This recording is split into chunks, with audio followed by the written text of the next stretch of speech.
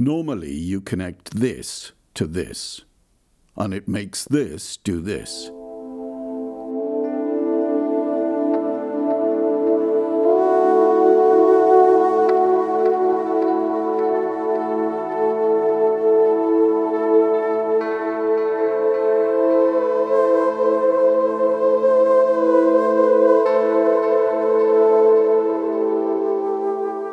But if you connect this to this, like this, it can make this sound like this.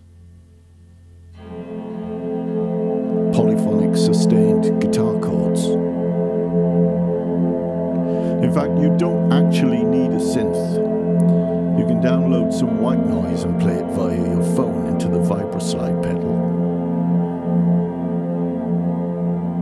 If you do have a synth, though, you don't have to use white noise. Try a swept oscillator.